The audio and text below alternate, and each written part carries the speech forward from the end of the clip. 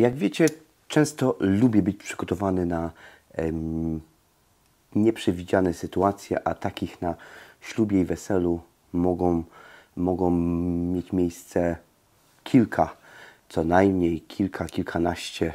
Nie wiadomo, co się wydarzy, a więc biorę ze sobą nie tylko aparaty, obiektywy, baterie, dodatkowe lampy, jakieś paski, szkiełka, ym, oczywiście spodnie. Ostatnio widzieliście film o moim wypadku małym, yy, ale również biorę ze sobą właśnie takie coś. I nie jest to nic nadzwyczajnego, tak? Yy, Nie staram się na weselu być MacGyverem, aczkolwiek uratowało to yy, kilka ślubów, w sensie wesel, w sensie ubiorów gdzieś tam młodych, czy też nie tylko młodych.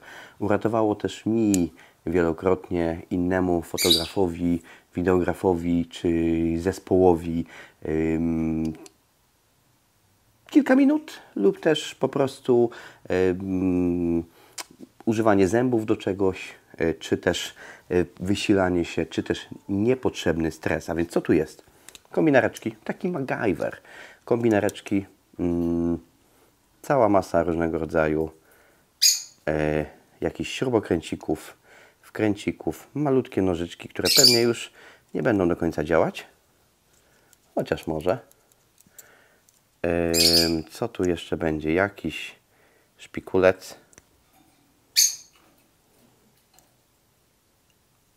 Co tu jeszcze z drugiej strony będzie? Yy, znowu uwielbiam ten śrubokręt. Ten krzyżak jest naprawdę, naprawdę dobry. Wielokrotnie używam go nawet w domu, bo po prostu jest dobry. Yy, co tu jest jeszcze? Otwieracz. Otwieracz, słuchajcie, do piwa. Wiecie, że używałem go na przygotowaniach pana młodego. Otwieracz do piwa, słuchajcie. Yy, gdzie naprawdę nie mogliśmy niczym otworzyć. Trzeba było coś ostrego. I zapalniczki wszystkie się popsuły. Nie było o krawędzi, żeby go otworzyć. Ja nie chcę zębami otwierać. A otwieracz się przydał. No i oczywiście noże, tak? Tutaj różnego rodzaju noże, piłki. Yy, z tej strony, z tej strony. Ja używam osobiście bardzo często tego urządzenia, yy, które po prostu pomaga mi. Yy, używam tej płaskiej końcówki, która pomaga mi dokręcić różnego rodzaju statywy, gdzie yy, nawet widać tutaj jest brudny od takiego kleju epoksydowego, yy, ale naprawdę, naprawdę wiele, wiele różnych yy, rzeczy yy, zrobiłem tym. Wiele sytuacji uratowało i polecam mm, posiadanie czegoś takiego. Nieważne, czy to będzie dobrej jakości. Ten jest dobrej jakości, aczkolwiek nawet nie wiem skąd to mam wygląda na jakieś urządzenie amerykańskie, yy, tak, bardzo dumne nazwy i tak dalej, aczkolwiek słuchajcie, naprawdę polecam posiadanie czegoś takiego, czegoś podobnego, jakiegoś malutkiego zestawiku ym, urząd, narząd, urządzeń.